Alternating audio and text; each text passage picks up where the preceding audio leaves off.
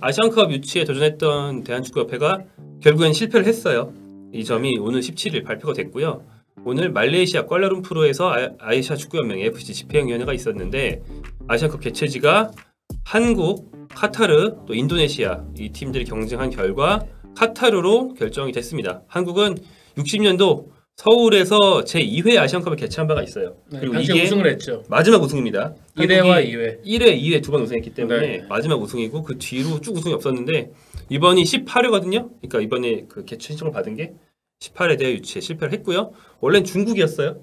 그런데 중국이 코로나19 상황 때문에 내년에 열리는 대회를 개최하기 힘들다고 개최권을 반납을 네, 했었죠. 올해 5월에 반납을 하면서 재유치전이 이제 급박하게 벌어진 거고 한국이 유치전에 뛰어들었었지만 성공하지 못했습니다. 어, 꼴라룸푸르 현지에서 어떻게 진행이 됐는지 간단하게 얘기해 주신다면. 네, 집행위원회에 이제 참가하는 집행위원들이 어, 비밀 투표 형식이 아니라 이제 거수를 통해 가지고 이거요? 네, 전체 합의를 최대한 이뤄내는 아. 방식으로 진행을 했습니다. 아, 그러니까 투표를 하면서 말도 네. 계속 하고 이런 식으로? 그렇죠. 어. 독특한 방식. 그러니까 그 부분인데 거기 이렇게 됐다는 거는 결국은 대세가 카타르였었다라는 음. 것을 저희가 확인을 할 수 있는 부분이고요.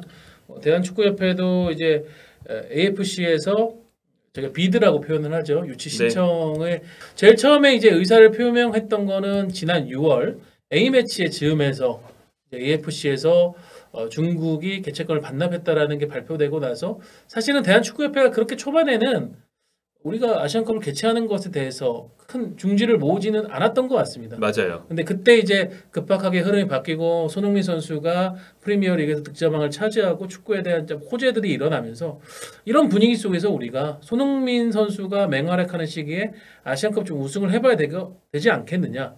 그러려면 우리 홈에서 개최하면 상당히 좀 유리하지 않겠느냐 이런 의사가 불었고 그때 마침 정부에서도 뒤쪽에서 우리 서포트를 해주겠다 한번 적극적으로 해봐라 이런 뭐 분위기가 일면서 이제 6월 A 매치 기간 이후에 대한축구협회가 아시안컵 유치 신청에 뛰어들겠다고 공식 발표를 합니다. 좀 급박하게 진행됐다고 볼 수 있고요. 네, 뭐 사실 근데 조건은 거의 비슷했던 것 같아요. 어, 그 당시에 이제 의사 표명을 한 곳이 한국 외에도 카타르, 인도네시아 그리고 호주도 있었습니다. 음. 그 호주 같은 경우에는 좀 이른 시간에 예, 후보에서 빠지겠다라고 발표를 했고요.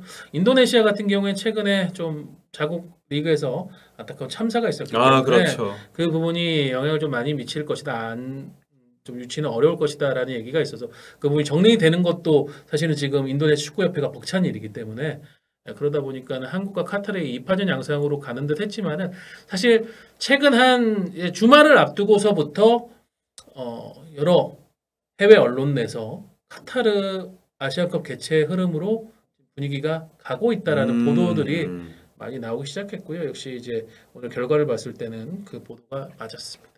자, 한국에서 우승할 적기다 뭐 이런 얘기를 하셨는데 만약에 유치에 성공했다면 네, 그 말씀이 상당히 일리가 있는 것이 뭐 손흥민 선수를 비롯한 한국 선수들이 지금 굉장히 잘해주고 있어서 한국 전력상 60년 넘은 뭐 어떤 무 우승 실패의 역사를 끊을 적기이기도 하거니와 아시안컵은 뭐 세상, 세상 모든 데가 다 그렇지만 개최국이 유리합니다.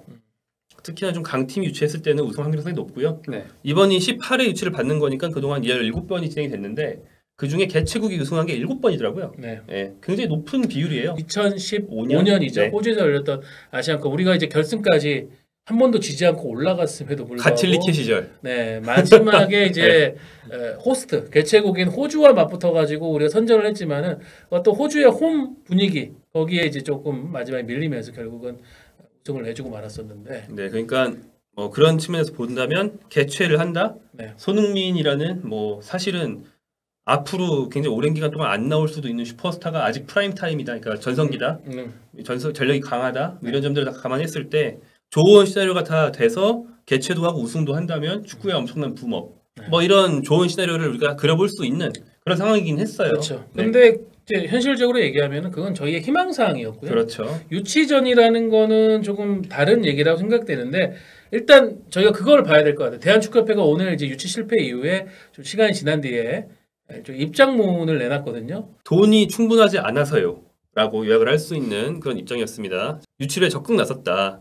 63년 동안 축구 강국 한국에서 개최가 안 됐고 또 순환 개최 중국이 물러선 것으로 봤을 때도 알 수 있듯이 동아시아 차례였다. 지역 균형 차원에서도 그랬다. 그래서 동아시아에서 개최할 것을 기대했다. 게다가 시설, 교통, 숙박, 열기, 문화, 관광 어, 월드컵 개최해본 나라 아닙니까? 음. 이런 면에서 부족함이 없다라고 판단해서 덤벼들었다. 충분히 할만했다라고 얘기를 하고 있습니다. 하지만 페이는 뭐다? 대축구협회의 얘기는 이겁니다. 카타르가 풍부한 재정, 인적, 물적 기반으로 유치에 뛰어들면서 험난한 경쟁을 했다. 네, 핵심, 핵심인 것 같아요. 네, 하고 싶었던. 카타르는 그쵸. 그 말을 하고. 저 말을 하고 싶은데 물량 싸움에서 우리가 졌습니다. 음. 카타르는 최근 적자에 시달리고 있는 아시아 축구 연맹의 자국 기업의 스폰서 추가, 타국 방송사의 대규모 중계권 계약, 아시안컵 대회 운영 비용 지원 등의 막대한 재정 후원을 약속했기 때문에 여기서 졌다. 또한 2002 월드컵이 당장 열리고 다음 해에 월- 아시안컵을 한다는 거니까 인프라가 제일 좋은 거 아니냐. 음. 이 점도 카타르가 내세웠고 그 다음으로 이제 축구협회가 게 이거네요. AFC 집행위원 전원을 수시로 개별 접촉하면 설득을 했고 한국 개최의 명분과 당위성에 공감하는 많은 집행위원들의 동의를 받았다. 하지만 결과적으로 역부족이었다. 아시아 축구의 주도권을 쥐르는 중동 국가들의 파격적 공세와 지원이 판세에 영향을 미쳤다고 판단이 됩니다. 사우디 같은 경우에는 중동에서 개최하기로 할 경우 중국 개최 철회로 인해 발생하는 아시아 축구 연맹의 재정 어려움 극복을 위해 별도의 재정 지원까지 약속하기도 했습니다.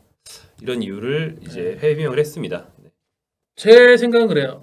저걸 느끼면서 어떤 뭐 조금 노골적으로 얘기를 드리면은 아, 어떤 정몽규 회장과 현재 지금 정몽규 회장을 중심으로 한 대한축구협회 수뇌부가 요즘 많이 쓰는 표현으로 나이브하구나. 음... 예, 순진하고 보면은 아니하다. 아니야. 예, 그런 생각들을 하고 있다고 보여지는데 사실은 어려울 수밖에 없는 구조죠. 왜냐하면은 지금 현재 정몽규 대한축구협회장은 AFC 내에서 직위가 실질적으로 영향을 미칠 수 있는 직위가 없습니다. 음... 예. 어, 기존에 대한축구 있었던- 회장 겸 AFC 예. 뭐 부회장이라든지 뭐 이런 게 아니라는 AFC 거죠. 부회장, 피파 평의원 음. 이것도 2019년에 다 떨어졌고요. 네, 그 뒤에 이제 심판 관련된 판정 관련된 부분에서 어느 정도 일을 하고 있지만은 그게 저는 이제 집행위원회에 힘을 줄 수 있는 그런 영향력은 없죠.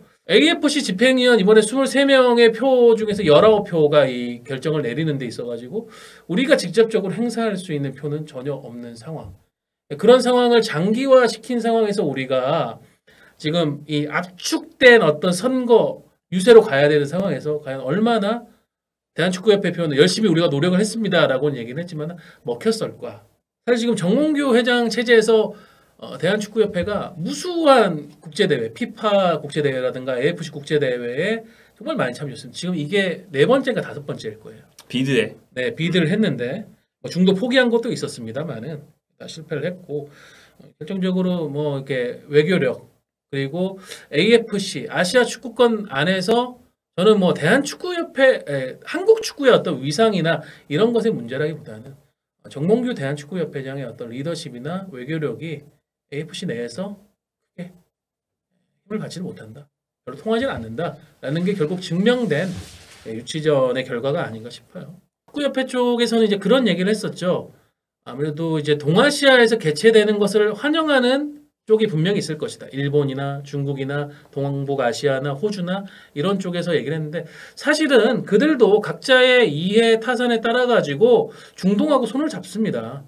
어떻게 보면은 우리가 가까이에 있다고 하지만 중국, 일본이 오히려 우리를 더 배척하는 분위기가 AFC 안에서 수년째 이어지고 있다고 하거든요. 아, 그 그래요? 결과가 음... 정몽규 회장의 AFC 부회장, 피파 평의원 탈락이었었고요. 이미 2019년에도 감지됐던 부분이었어요. 그러니까 사실 저 축구협회 어떤 저 해명문에서도 카타르만의 돈이 아니고 사우디를 비롯한 음. 뭐 중동 안에서의 우방이라고 할 수 있는 세력의 돈이 합심해서 붙었다라는 얘기, 이야기가 이미 들어 있는데 카타르는 사우디를 자기 편으로 끌어들여서 어, 그 돈을 끌어서 썼는데 한국은 일본이나 중국을 우리 편으로 끌어들이지 못했다 이런 차이가 있는 거라고 볼 수 있네요. 동아시아와 서아시아의 어떤 괴리가 IFC 안에서 분명히 있을 거고요. 네. 뭐 서아시아에서는 걸프컵을 하고 동아시아에서는 동아시안컵을 하는 것처럼 네.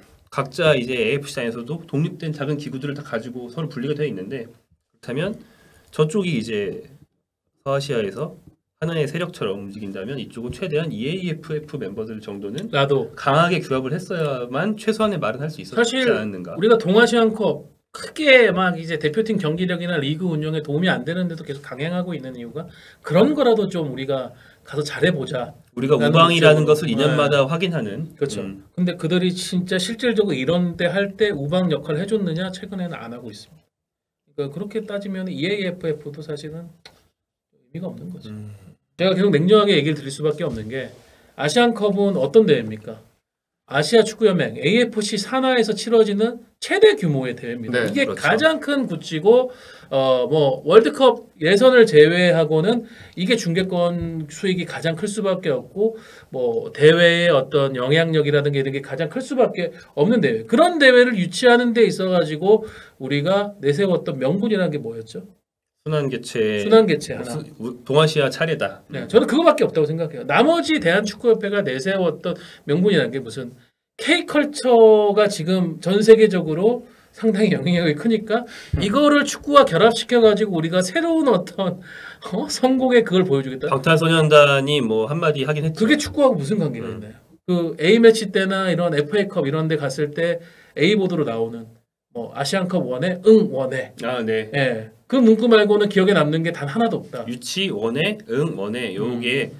홍대에 외국인들 많이 지나다니는 것을 잘 보는 전광판에 몇 주 동안 걸렸긴 했거든요. 네, 네. 근데 이제 그게 무슨 의미인지 사실 그렇죠. 잘 뭐 그리고 예를 들어서 만약에 지금 정몽규 회장이 외교력이나 리더십을 AFC 내에서 발휘할 수 없는 어떻게 보면 신뢰를 잃은 상황이라 그러면은 그것을 대체할 수 있는 다른 인물을 내세워서 좀 집행위원으로 밀어가는 그런 전략적 움직임을 미리 준비하고 있었어야 이런 아시안컵 유치 같을 때 우리가 좀 힘을 발휘할 수가 있을 거 아닙니까? 가령 예를 들면 뭐 차범근, 박지성, 이영표 뭐 이영표 의원 같은 경우에는 이- 이영표 강원 대표자 같은 경우 이번에 좀 적극적으로 관여를 했습니다만 사실 정치적인 역학 구도로 봤을 때 AFC 내에서는 이영표 대표자 같은 경우에는 스타 플레이어 출신의 지금 행정가로 일을 하고 있는 사람이지 지금까지 AFC 내에서는 어떤 영향력이나 이력을 밟은 게 아니에요. 그런 부분에 대한 투자까지도 이뤄져야 우리가 이런 국제대회 유치전에서도 뭔가 힘을 낼 수가 있는데 사실 저는 카타르가 돈을 써서 그거를 뺏어갔다라고 우리는 볼 수는 있지만 한편으로는 그들은 가동할 수 있는 모든 방법을 다 동원해 가지고 가지고 간 거예요. AFC에서 이 아시안컵 같은 노른자 위라고 할 수 있는 그런 거를 우리가 가져가고 싶다.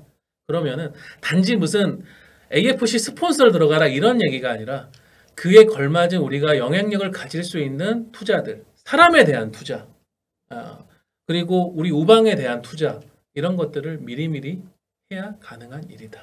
그렇죠. 라는 거 결론을 얘기를 드리겠습니다. 그러니까 집행위원들 국가들을 보면은 정말 어떻게 보면은 축구가 미치는 그런 발휘하는 영향력면 우리가 일반적으로 생각하는 월드컵에 얼마나 나갔으며 슈퍼스타들이 얼마나 그날 배출 이런 게 아니라 사실 집행위원 같은 경우에는 뭐 미얀마라든가 예, 이런 동남아시아에 있는 작은 나라에도 집행위원이 주어지거든요.